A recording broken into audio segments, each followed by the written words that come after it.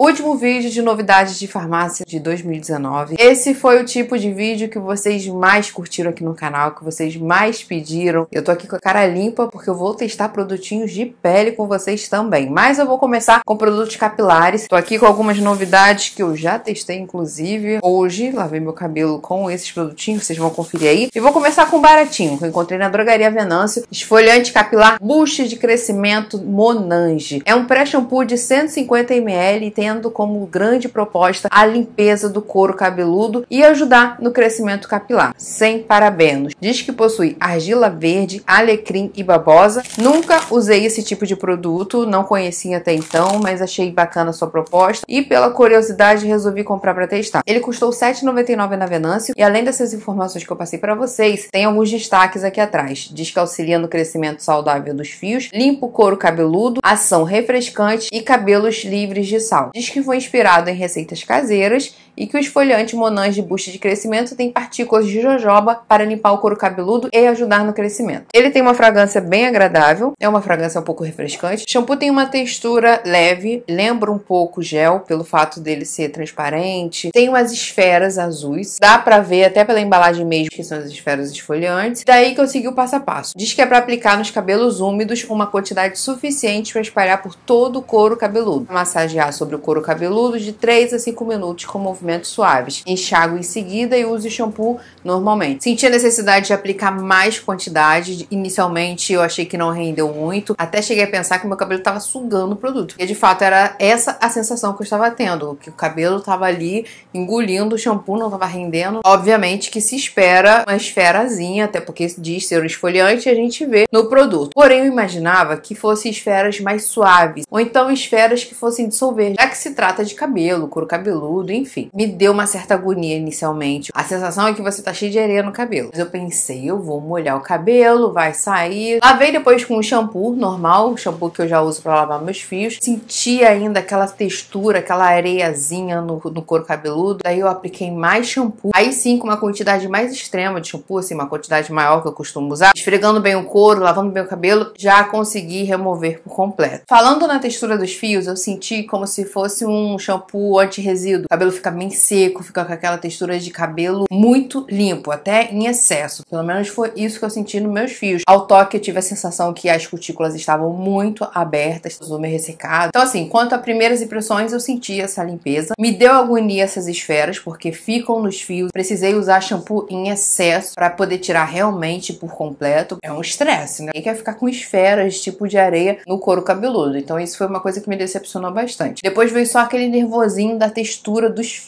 mesmo de estarem muito limpos. Daí entra um outro produto que para mim é novidade, até então não tinha visto. Esse produto é a máscara intensiva de restauração da Pantene. Esse pote de 270ml que promete recuperar os fios, promete reparação do dano extremo instantaneamente. Diz que é um tratamento condicionador intensivo, fórmula ultra cremosa, restauração sem sal, contém avançado complexo de provitaminas, ainda atua prevenindo os danos futuros formando um escudo protetor. Esse aqui eu comprei na Pacheco e ele custou R$19,99. Entrei na Pacheco determinada a comprar a versão de pote da misturinha. É um produto que vem com a proposta de você transformar o creme em uma máscara de restauração, de nutrição ou hidratação ao fazer a mistura com shots que eles vendem separado. As ampolinhas misturinha, acho que vocês já devem ter visto. A ideia é até bacana, até interessante. Porém, ao entrar na drogaria e me deparar com essa opção, eu fiquei mais animada com as propostas e atuação dele desse pro meu cabelo. Vocês sabem que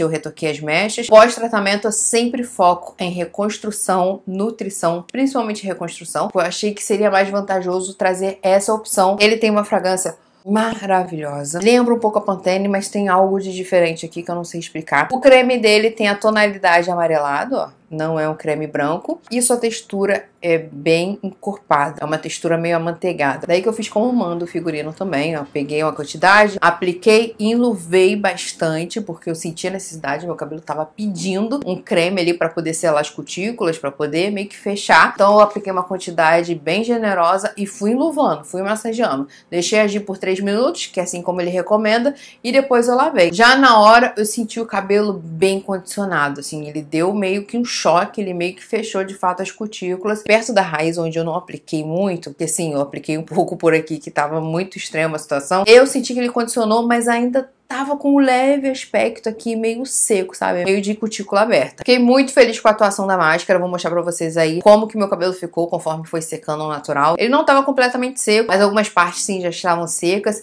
Eu senti que o cabelo ficou bem leve, bem suave e soltinho, esse foi o principal. Finalizei a secagem com escova, aquela escova secadora que vocês já sabem. Gente, Assim, muito suave, muito brilhoso. E será minha máscara complementar. Vai ser mais uma das que eu vou colocar aí no meu ritual de cuidados capilares pós-mecha. Outra novidade de farmácia que eu adquiri recentemente foi a espuma de limpeza facial da Dove na versão purificação profunda. Vocês sabem que eu tenho a versão tradicional, azulzinha, já até testei aqui com vocês. Fiz uma enquete lá no Instagram e muitas de vocês pediram para testar essa. Tem essa verdinha e uma rosinha. A verdinha ganhou, tinha apenas a versão 100 gramas, foi R$18,90 se eu não me engano. É o produto que eu tenho usado nesses dias até para testar melhor. Espuma de limpeza facial purificação profunda. A sua principal função é de remover profundamente a oleosidade, mantendo a hidratação da pele. Ela tem a fragrância Dove, mas com leve frescor, tem uma certa diferença do tradicional. Esse aqui eu já achei que dá uma leve espuma e rende horrores. Não faz aquela espuma pesada, mas sim, faz mais espuma do que o azulzinho e limpa tão bem quanto. Ele tem a textura mais para creme, meio que hidratante. Percebe-se ao toque do produto até na pele, a pele realmente fica mais sequinha, fica com aspecto mais opaco e limpa que é uma beleza. A fragrância não fica tão intensa na pele como eu achei no tradicional. Você sente a fragrância ali de Dove, mas não por muito tempo. Gostei, já faz uns dias que eu comprei, é o que tenho usado no momento. Dá uma sensação de limpeza muito boa na pele. Pelo menos na minha, tá tudo ok. Próxima novidade, hidratante protetor controle do brilho efeito mate da Nivea. Esse daqui eu paguei R$29,90. Na hora que eu vi na prateleira, eu fiquei meio confusa, achando que era aquele protetor hidratante. Falei, gente, mudar a caixinha, mas aí eu fui ler mais detalhadamente, a fundo. Pra mim é uma novidade, porque até então eu ainda não tinha visto ou não tinha reparado nas prateleiras. Ele diz que é um hidratante protetor controle do brilho, que é indicado para pele mista a oleosa, possui fórmula oil free, textura leve de rápida absorção, protege contra os raios UVA, UVB, diz que sua fórmula com algas marinhas controla o brilho e a oleosidade da pele. Seu fator de proteção é 30, versão que promete mundos e fundos contra a oleosidade. Nessa embalagem de bisnaguinha, bem bonitinha. Contém 50 gramas de produto, fragrância gostosa, algas marinhas, né? Ó, textura é um creme branco. Ele é leve para moderado, ele não é tão levinho, não. Pelo menos aqui é o primeiro toque. Mas vamos lá. Hidratante protetor.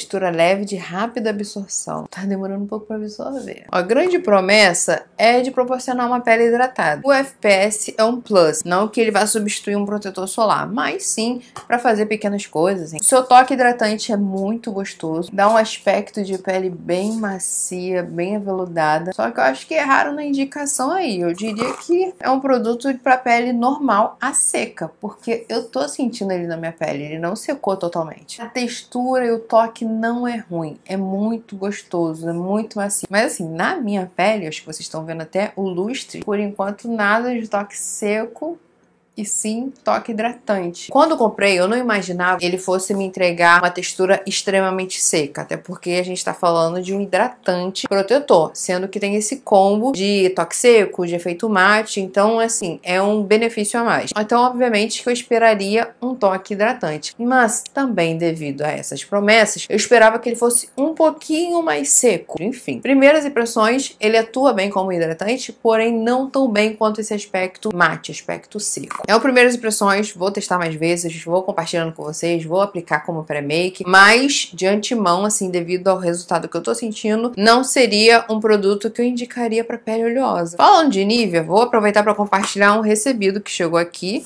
nem esperava, porque a Nivea não é de me dar muita confiança não. Mas enfim, chegou aqui, eu fiquei muito grata, fiquei muito feliz e eu acredito ser uma novidade porque eu ainda não vi nas farmácias e drogarias. Eles enviaram esse kit de cuidados com a nova fragrância da marca. Tem a fragrância Flor de cerejeira, inclusive foi o que eu achei que tinha aqui dentro, porque tá bem grandão aqui. Fragrância de coco e flor de laranjeira. A que veio aqui foi a de água de coco. Tô aqui com o desodorante Fresh Água de Coco, promete fragrância prolongada, 48 horas de duração, secagem rápida. Quem acompanhou o último vídeo de decepção viu que os desodorantes da Nivea dominaram. Eu testei duas opções que não deram certo para mim. Até hoje minha favorita é a toda azul, a tradicional. Espero que não seja o mesmo com esse daqui. Testei hoje. Achei a fragrância bem gostosa, remete a coco. Deixa eu até fungar aqui, tá aqui ainda o cheiro, gostoso. Tem um cheirinho de coco muito agradável e refrescante. Enviaram também o hidratante, esse daqui é com óleos essenciais de coco e óleo monói. Diz que é um óleo em loção, absorção imediata, sem sensação oleosa e loção Del hidratante. Faz alguns dias que eu recebi esse kit, já testei também. Fragrância é bem gostosa. Ela tem um fundo levemente doce, uma embalagem de 200 ml, deixa a pele perfumada, absorve de fato bem rápido e tem um toque hidratante. Mas confesso para vocês que eu não consigo usar todos os dias. Eu senti uma fragrância meio enjoativinha, assim, não sei se foi esse fundo meio doce. E também veio o sabonete, água de coco e óleos essenciais. Sabonete glicerinado com hidratante. Esse foi o único que eu ainda não testei. Aqui em casa costumo ter sempre o sabonete da Nivea. É um dos mais baratos e mais cheirosos que eu encontro no mercado. Mais uma opção que eu vou testar e depois eu conto pra vocês o que, que eu achei. Ó, atualizando vocês sobre o hidratante, o tempo tá passando. Eu tô sentindo que ele absorveu mais um pouquinho, tá um pouquinho mais seco, mas ainda tá com toque hidratante. Pra fechar essa novidade de farmácia, tô aqui com um produtinho que vocês pediram bastante no último vídeo de farmácia. Tava um pouco relutante em adquirir porque o bicho é salgado, mas comprei. Tô aqui com o novo protetor da La Roche-Posay, Antelius Erlicium FPS 70, anti-oleosidade, 12 horas de efeito mate e promete não transferir a cor. Nova forma. Esse aqui eu também comprei na Pacheco e custou R$ 89,90. Optei pela opção com cor. Falei para vocês um tempo atrás que eu não ia comprar mais nenhum protetor com cor, que eu tava me decepcionando com alguns, mas daí que vocês pediram justamente essa opção com cor. A cor que eu comprei é pele clara. Tinha o um teste na farmácia, apliquei no meu rosto, eu achei que ficou perfeito. Deu super certo no meu tom de pele. Eu tinha duas opções na drogaria que eu fui, que era a cor clara e a opção de cor para pele morena negra. O único protetor da La Roche que eu já usei até hoje, que na verdade nem é um protetor, mas é um pigmento com cor que atua como protetor, é um Tails Color 12, aquele pigmento que a gente mistura o protetor e adiciona a cor. Não é um produto muito prático, mas ele me atendeu muito bem com relação à sua cor misturada ao protetor que eu usava. Lembrando que é a versão nova, diz aqui bem grande, nova fórmula, muito alta proteção, controle inteligente da oleosidade, cobertura de longa duração, toque limpo, duradouro, proporciona cobertura das imperfeições com tecnologia anti-transferência da cor, com pigmentos que aderem à pele para garantir longa duração da cor, sem transferir, pesar ou derreter. Embalagem de bisnaguinha, 40 gramas de produto. Aproveitei para lavar o rosto, tirar aquele hidratante que estava aqui na minha pele para não ter interferência, não ser injusta com o produto. Vai ser meu primeiro teste completo aqui. Eu testei na drogaria para ver a sua tonalidade, apliquei na metade de todo o meu rosto. A primeira coisa que eu percebi é que ele deu uma leve acumulada nos poros. Eu não sei se foi ali na hora da aplicação, com o meu dedo. Eu vou fazer a aplicação com a esponjinha, que será a forma que eu vou usar mais vezes, já que eu gosto de combinar ele com a maquiagem. E do outro lado eu aplico com os dedos. Sua textura, ó, bem cremosinha. Não chega a ser muito densa, pesada. É um, é um cremoso mais para suave. Ó.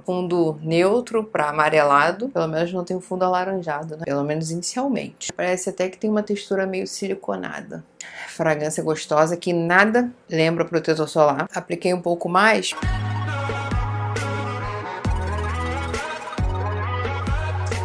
Tudo bem que a esponjinha suga produto, né? É uma proposta de cobertura mais leve, com a intenção mais de uniformizar o tom. Realmente, ela dá uma acumulada nos poros. Não adere muito bem aqui no nariz. Vejam só. Estou vendo um leve viço. Certamente, se eu tacar o dedo aqui, é, tô sentindo um produto. Vou esperar secar um pouco mais. Enquanto isso, deixa eu espalhar com o dedo. Não reparem na minha unha, que está para fazer, toda descascada. Vou controlar também porque esse produto foi caro. Daí tem que dar uma leve economizada, né? A cobertura dele com o dedo já fica bem maior. Parece uma base. Sua textura dá para sentir meio que grudando na pele. Preferi com a esponjinha, mais natural. Essa textura não ajuda muito na espalhabilidade com os dedos. Parece que o produto não espalha, ele fica grudando na mão. Dá até um pouco de incômodo. Tô descrevendo tudo que eu tô sentindo aqui, gente. Eu não vejo nenhuma possibilidade de eu conseguir espalhar esse produto aqui com louvor. Eu vou ter que recorrer de fato à esponjinha. Olha isso nos dedos. Não, tá me dando um incômodo surreal. Espalhei com esponjinha porque com a mão não tava dando certo. E deixei passar um tempo de aproximadamente 30 minutos, se não mais, para até ver como que ele sentaria, como que iria se comportar. Bem, dei bastante zoom para mostrar exatamente aquilo que eu vou falar. Na minha pele, evidencia evidenciou horrores quanto aos poros. Eu suei um bocado nesse tempo que eu tava ausente e aonde eu suei saiu o produto. Não só saiu, como está horrível na minha pele. Ó, conseguem ver aqui como que tá no nariz? Foi exatamente onde eu suei. Não está com uma cobertura legal. Olha isso aqui, tá com aspecto meio poroso. Ele até secou, mas Tá com aspecto hidratante, dá pra sentir ao toque. Sei lá, gente, tô meio assustada. Ele mancha demais na pele, ele não espalha direito. Olha aqui, se eu esfregar o dedo, o que que acontece? E fica tudo manchado. Olha meu dedo. Saiu tudo no dedo. Será que não testaram esse produto, gente? Gente, comecei a suar no bigodinho. Olha isso aqui. Tá derretendo. Ele tá manchando.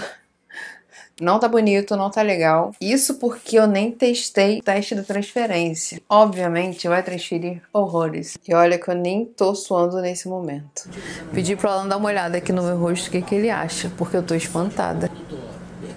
De olhar assim, o que, que você tá achando de Parece você? que tá meio ceboso, a, pele meio cebosa, meio gordurosa. Gente, eu acho que é, essa é a palavra e não vinha na minha cabeça. É tipo sebo mesmo. Que a dominação tá até ajudando. Ah, minha mão como que tá? Aqui, ó. Sei lá, meio poroso, ó. Não sei, tá, tá, tá meio estranho. Não tá normal. Tá saindo fácil. Tá, tá Manchou saindo. o dedo. Tá. O que, que tu faria com 90 reais? 89,90. Eu tô Ó. chocada. 90 reais. Promoção Big Taste do Mac Picanha. Dava pra brincar. O único ponto positivo, se é que eu posso dizer, é com relação à sua cor. Sua cor ficou boa no meu tom de pele. Pode ser que ele atue diferente em outros tipos de pele, pode ser que em outros tipos de pele seja bom, mas na minha pele tá longe de ser um produto satisfatório. Se você teve uma experiência contrária da minha, compartilha aqui. Infelizmente, me decepcionou e vocês estão vendo aí, tristeza. Essas foram as últimas novidades de farmácia de 2019. Eu espero que vocês tenham gostado do vídeo. Caso ainda assim vocês queiram uma resenha exclusiva de um só produto que eu teste mais vezes, deixa aqui nos comentários o seu pedido que eu volto com uma resenha super completa. Se você gostou do vídeo, não se esqueça, deixa aqui seu like, se inscreva no canal e a gente se encontra no próximo vídeo. Grande beijo, fiquem com Deus e obrigada pelo carinho. Tchau, tchau!